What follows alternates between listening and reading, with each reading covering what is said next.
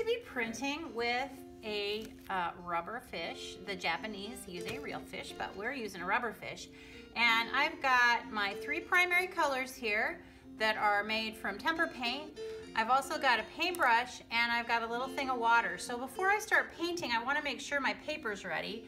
So I'm going to write my first and my last name on my paper and hour, what's my hour, and my table number. What are those three things? Okay, and then my paper is gonna go on this clean piece of paper here, which is my clean area. This is called my dirty area.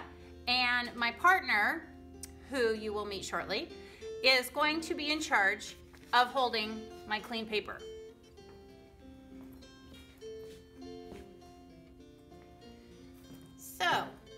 I've got everything I need and I am dipping and flipping my brush in my clean water just to make sure it's clean. And I'm gonna start by dipping and flipping into the yellow. I'm gonna put yellow generously, kind of down the middle of the fish. Generously means kind of thick.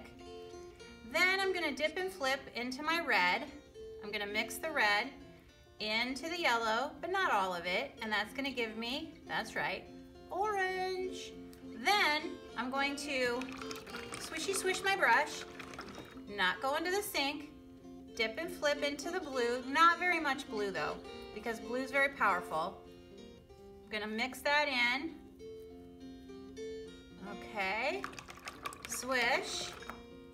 Then I'm gonna dip in the blue and the red, and that's gonna give me purple.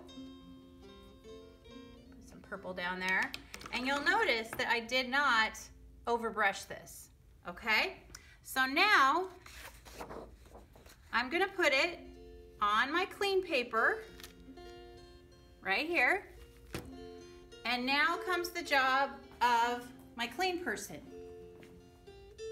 Hi, I'm Mrs. Mertz's face partner.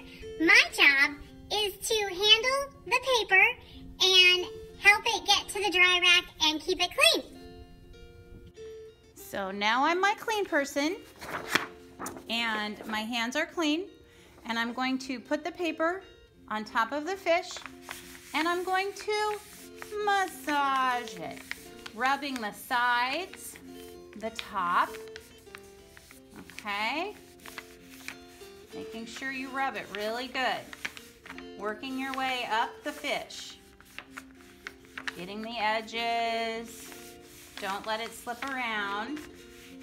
And if you wanna, you know, if you wanna do this to your own paper because, you know, you're like, I don't know, that's fine. You can.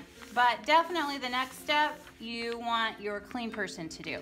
Okay, so now the next step is to pull it off. And there is my print of my fish. And now to take it to the dry rack.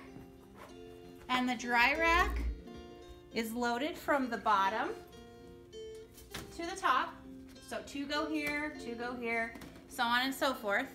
Then, back at my area, now it's my clean person's time to do the same thing to the fish that I just did. So now it's their turn.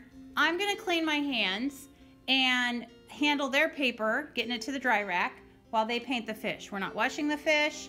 We're just gonna paint right where I left off.